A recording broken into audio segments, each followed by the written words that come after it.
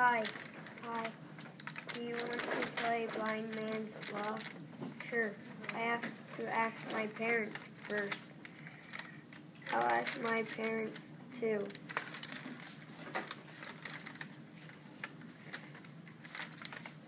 My parents said I could and I'll be the blind man. My parents said I I could, so let's start the game. First I have to get the blindfold on. Okay, I'll help. Ready? Go.